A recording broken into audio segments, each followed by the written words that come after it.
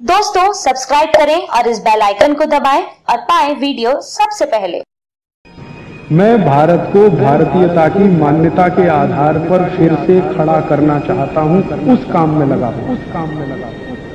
पेट की कुछ बीमारियों की बात करें। पेट में कब्जियत हो जाए कॉन्स्टिपेशन पेट साफ़ ना हो मन ना निकले ठीक से। तो इसकी बहुत अच्छी दवा है अजवाइन। कच्चा अजवाइन होता है, घर में है। इसको आधा चम्मच ले लो और इसमें एक चम्मच गुड़ मिलाओ। गुड़ और अजवाइन। दोनों मिला के चबा के खाओ, पीछे से गर्म पानी पियो। और रात को सोते समय करना ही काम। तो सुबह उठते ही एक ही बार में पेट साफ़ हो जाता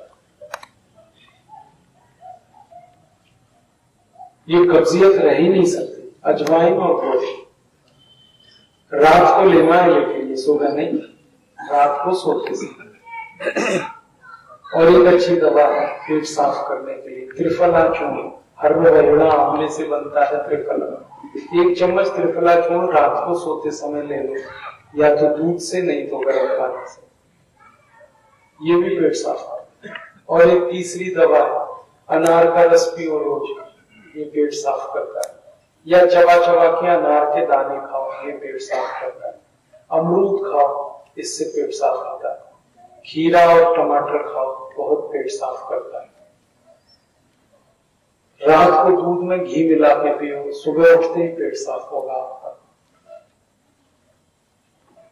और सबसे फोकट की दवा बताता हूँ, पेट साफ़ करने। खाने को चबा चबा के खाओ।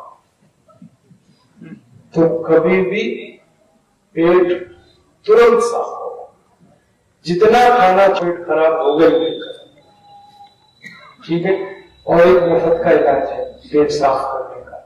पानी को हमेशा घूट घूट भर के पिया करो। और पानी ऐसे पीना चाहिए, देखो, मुँह में भर लिया, थोड़ा, एक घूट पानी और फिर ऐसे ऐसे चारों तरफ़ घुमाओ उसको। तो लार है ना वो पानी के साथ मिलके अंदर जाएगी। तो जितनी ज़्यादा लार आपके मुँह से पेट में जाएगी, पेट उतना ही साफ़ होगा। तो या तो चबा के खाने की आदत डालो तो भी लार ज़्यादा पेट में जाएगी।